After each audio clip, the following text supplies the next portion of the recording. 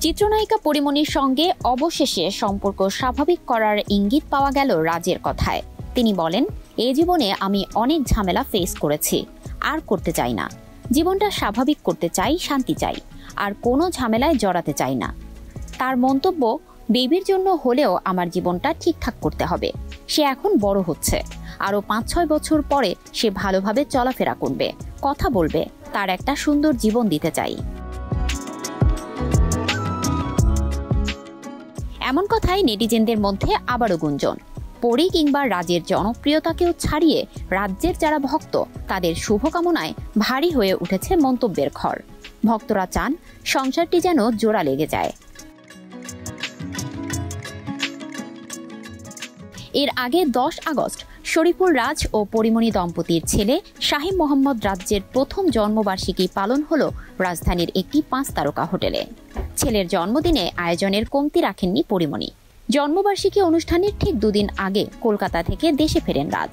জানা যায়, অনুষ্ঠানের আগের দিন রাতে পরীর বাসায় গিয়ে ছেলের সঙ্গে দেখা করেন তিনি। কলকাতা থেকে আনা উপহার সামগ্রী ছেলের হাতে তুলে দেন। ছেলের সঙ্গে কিছুক্ষণ সময় কাটিয়ে চলেও আসেন। অনেকে ধারণা করেছিলেন, ছেলের জন্মদিনের অনুষ্ঠানে যাবেন রাজ, কিন্তু দেখা যায়নি তাকে।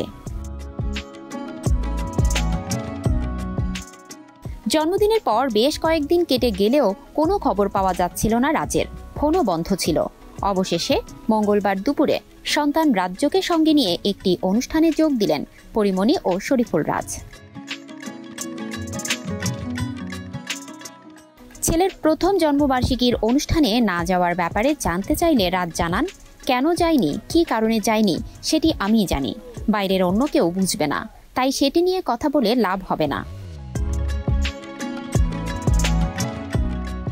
এক সাক্ষাৎকারে পরিমণি বলেছেন, এখন আমার সঙ্গে রাজের কোনো সম্পর্ক নাই। সম্পর্ক তার ছেলের সঙ্গে। এ ব্যাপারে জানতে চাইলে রাজ বলেন মানে কি? আমি পরীকে বিয়ে করেছি। বইয়ের সঙ্গে সম্পর্কটাই আগে পরে সন্তানের সঙ্গে। সত্যি কথা কি?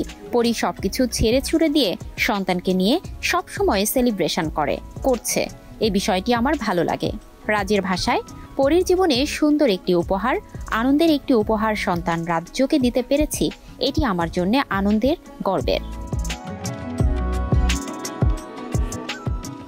এ সময় সাংবাদিকদের প্রশ্নের জবাবে পরাণ ছবি দিয়ে দর্শক আলোচনায় আসা রাজ বারবারই কাজের মধ্যে থাকতে চাওয়ার কথা জানান। তিনি বলেন, আমি এখন কাজ করতে চাই। কাজের মধ্যে নিজেকে রাখতে চাই। আগামী মাস থেকে একটা কাজ শুরুর কথা আছে। তবে আপাতত সে বিষয়ে কিছু বলবেন না বলে জানান এ অভিনেতা।